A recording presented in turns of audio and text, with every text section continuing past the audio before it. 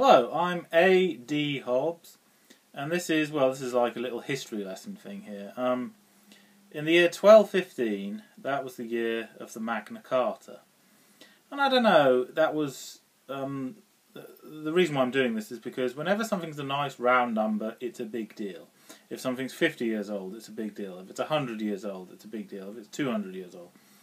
In this case, 1215 was 100 years, uh, 100, 800 years ago. So that's a nice round number, 800. I don't know the precise date, I just know the year, 1215. So 1215 was the year of the Magna Carta, 800 years ago. And I do remember at school once getting a, you know, a star in my um, a class mark because um, I remember the exact year, 1215. I got it exactly right. So yes, I was pleased about that. Anyway, so I'll give my thoughts on the Magna Carta. Um, well, basically, the Magna Carta is a document that King John was forced to sign to make a fairer system, to make a fairer tax system, to stop treating the people so badly. And, um, okay, a bit of backstory about King John. Um, well, originally he was known as Prince John, because, of course, King Richard, King Richard I, also known as King Richard the Lionheart, he was king for 10 years, 1189 to 1199, but because he was away so much in the Crusades fighting the, the Muslims, um, or was it the Turks, or was it both? Were the Turks Muslims at the time? Anyway, it was it was about religion, basically. Yes, a war about religion, and to get all the Muslims out, or Moors as they used to call them back then, and make well make everyone Christian, basically. You fought to make everyone Christian. You'd kill anyone that was not Christian. That was the customary thing to do in the Middle Ages. And um, he did come back to England a, a, few times, but when he came back, King Richard spent a total of only six months in his entire reign. You know, so, so for the majority of his reign, he wasn't here. So his younger brother, John, as Prince John then, was the regent. And Prince John was a horrible, creepy, grubby little little sneak, basically he plotted against his father to, to become king. He couldn't wait. You know, he wanted his father dead, so wanted to get rid of him. But um, and then afterwards, his father did die. But because later he was plotting against his elder brother. But he didn't really need to plot against him because he was away all the time. You know, so Prince John. Yes, Prince John had the legal right to raise the taxes because they needed more money for the war effort. But he abused the system he made out that the government needed far more than they actually did, was really he just wanted all the money for himself, you know. He robbed the poor to feed the rich, you know. He just, you know, there was just no limit to how much money he, he charged for, you know. He was absolutely despicable. And of course, Prince John, because of Robin Hood, Prince John is famous. Or infamous, I think is the correct word to use. Yes, Robin Hood rebelled against him and robbed from the rich and gave to the poor.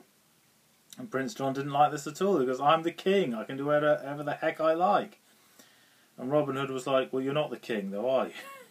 you're just the regent. You're supposed to be ruling wisely and well.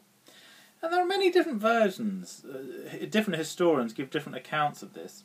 Some say that the version that perhaps everyone's familiar with because of TV and films.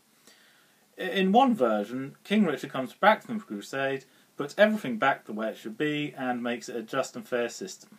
That's what we're all familiar with. But there are some historians that say no, that's not what happened at all. What happened was King Richard did come back to England a few times, yes. And what happened? Prince John, his younger brother, just lied to him and said, I've been ruling all the people wisely and well, and everyone's perfectly happy. And King Richard believed him, and then, okay, I can see you're doing a good job. Well, I'll go back to the Crusades. so, Yes. King Richard, was he stupid? Was he a bit naive? Or was he just so busy that he didn't have the time to make sure everything was alright? You know, he didn't look after his people, you know. You've got to be there for your people. You've got to physically be there to know what's really going on. You can't just take someone's word for it, you know, because Prince John was a liar and a cad. Then King Richard got killed in a battle in Jerusalem, or was it Iran, or Persia, or Iraq, or well, anyway, one of the desert countries. It might have been Turkey. Anyway, in one of the countries where he was fighting, he was killed in a battle. And because he didn't have any children, that meant his younger brother was the heir to the throne. He was no longer Prince Regent, he was King John. He was the legal ruler of the whole, of the lord of all the realm. He was no longer the stand, and he was the proper king. And um, but did he good, do a good job? No, he was absolutely horrendous. If anything, he was worse because there was nothing holding him down. Now, you know, there were no there was no limit to how cruel and horrible he'd be. He charged much too much money. He raised the taxes even more, you know, and it was absolutely horrendous, you know. And um, Robin Hood, again, in most movie versions, Robin Hood saves the day and makes everything back normal, but that's not what really happened. What really happened was eventually Robin Hood was killed in a battle with his rebels rebelling against this corrupt government. And he died, but before he died, he said to his people, never give up the fight. Even though I'm dead, the legend carries on. You know, the fight for freedom carries on, you know. And for me, Robin Hood, I suppose, to most people, he was, yes, an outlaw with a twist. He was an outlaw. He did things against the law, but he was the good guy, you know. Yeah, yeah, he rebelled against an evil king. I mean, you must obey the king. You must do whatever he says. What if the king is evil? You know, I mean, how where does it stop? You know, if the people in, in power, people in government are evil, that's different. If that's the case, the rebels are goodies, not baddies. And um, King John carried on reigning supreme, but the, the mistake he made, well, he made many, many mistakes, but one of his mistakes was he taxed the rich much too much as well. So it was not just the poor that hated him. By the 13th century, it was the rich and the poor hated him. Everyone hated him. Everyone absolutely despised him, you know. And it was the barons that, that rebelled against him next, you know. Then a whole army of people got hold of King John, and they wouldn't kill him because of religious reasons at the time. You know, it was deemed a crime against God to assassinate a king. So instead, they locked him in a prison cell, gave him the Magna Carta, a solemn document you have to write down. And basically, what it is, it's saying to make the system fairer, to make the tax system fairer, to treat the people more fair. And they wouldn't let him out. They would not let him out of that room until he signed it. So he was in there for days and days. You know, he thought eventually they'll crack and they'll let me go, but they wouldn't. No, they wouldn't let him go until he signed it.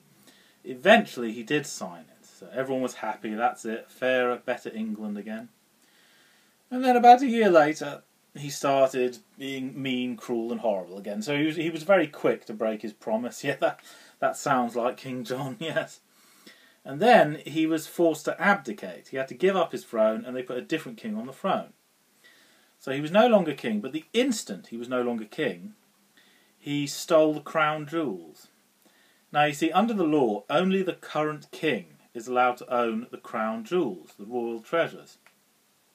So he stole them.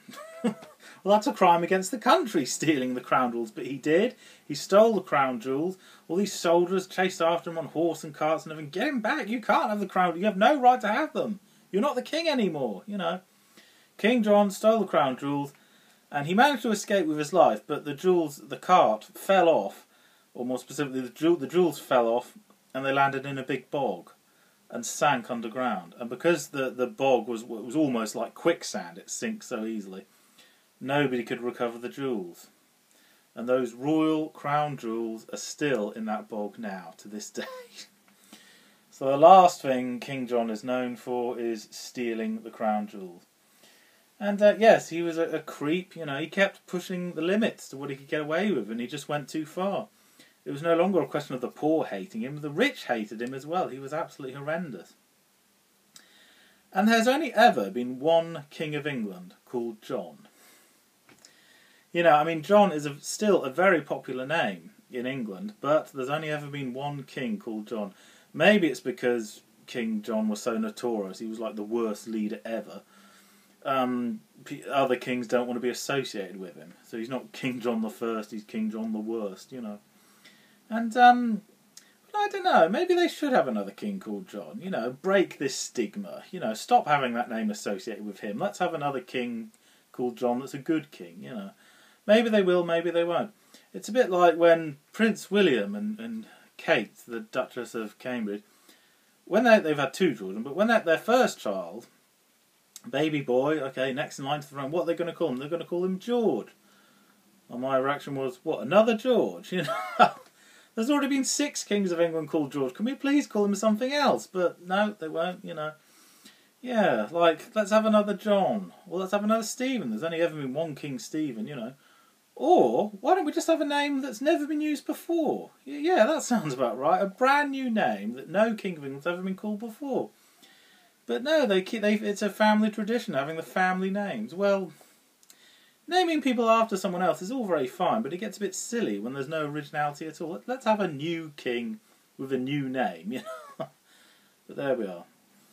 Okay, I'll, I'll, sum up this Magna Carta by saying, in the Middle Ages, were, laws were connected with religion, and they used to believe a king was chosen by God. He wasn't chosen by God; he was chosen by luck. But anyway, they, that's what they used to believe. He was chosen by God. They thought if a king touched your head when you were feeling ill, you will magically become better again. that that's what they used to believe, and they thought it's all part of God's grand plan. You know, He chooses who should be the king. However, they had standards. Even in the Middle Ages, people had standards, and they would never take their beliefs that far. In other words, if a king was awful, absolutely abysmal, like the worst leader in the world, they overthrew him. They got rid of him. So even people that with those really rigid religious beliefs, even they had standards and they overthrew John. They didn't kill him. They forced him to sign the Magna Carta. That didn't work, so they forced him to abdicate instead. He was one of the worst kings England has ever had. But it made Robin Hood a legend, you know. yeah, because he was so horrible, that inadvertently made Robin Hood a legend, and is still a legend to this day. Robin Hood, the mirror opposite of King John. And, um, yes, the Magna Carta basically means a just and fair system and there is no historical monument to the Magna Carta in England. There should be one, but there isn't. You know, 800 years ago, nope, still, no, not after all this time, still no monument, you know. Uh, but there is, however, one in America. Why? Well, because the Americans believed in what the Magna Carta resent, what it resembled. They believed in what it resembled. The idea of everyone has their say. Like, you do need a leader in any given society, yes, but the people have to have their say. If the leader can just do anything without their consent, then that's wrong. That's not a good leader. A leader, a good leader, gives the people what they want. A good, the good leader um, has to ha- ha- everyone has to have their say. Uh, he can't just do whatever he wants. You know, end of. You know, how can a leader know what the people want if no one's allowed to say anything? You know. So, in other words, the Magna Carta represents all the people have their say. We need a leader, yes, but all the people should have their say in the matter. Okay, so the Magna Carta 1215, 800 years ago, and it's still relevant today. So, in other words, it's very important to be a good leader. Okay, that's enough from me, and take care.